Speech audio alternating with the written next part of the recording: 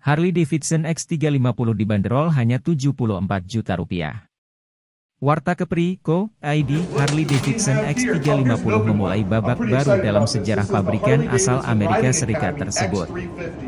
Mereka mulai bermain di segmen 300 cc dan menyasar konsumen menengah dengan harga yang terjangkau. X350 sudah dipasarkan di Tiongkok dengan banderol hanya CHY Yuan 33.388 atau setara dengan 74 jutaan rupiah. Bahkan harganya ini tidak lebih mahal dari Honda Forza yang bermesin 250 cc atau harganya tidak terpaut jauh dengan versi X 250 yang ada di Indonesia. Dimensi X350 tercatat memiliki panjang 2110 mm, lebar 785 mm, dan tinggi 1110 mm, WL base 1410 mm. Kemudian untuk bobotnya di 195 kg dengan daya angkut sampai 350 kg. X350 dihadirkan dalam dua varian, X350 untuk pasar Tiongkok, sementara X350 RA, Riding Academy, untuk Amerika Serikat. X350 RA berbobot lebih berat dengan tambahan engine guard hingga bobotnya mencapai 200 kg.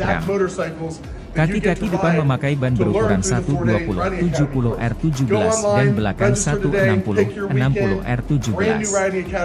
Pada sektor pengereman, menggunakan cakram ganda dengan anti-lock braking system ABS di bagian depan dan cakram tunggal di belakang. Sayangnya di sektor mesin tidak ada lagi V-twin dengan suara yang menggelegar.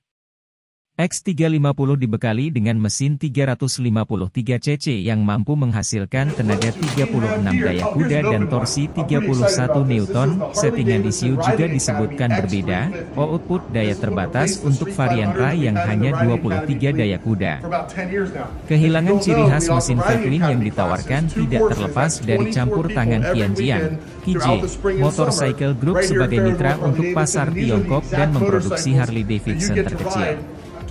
Bahkan mesin yang digunakan menggunakan gelondongan yang serupa dengan Benelli TNT 300. Nah X350 sudah mulai diperkenalkan, kira-kira bakalan masuk ke Indonesia. Sumber, Medcom, Riders, Harley Davidson, Com dan Twitter. Editor, Dedi Swada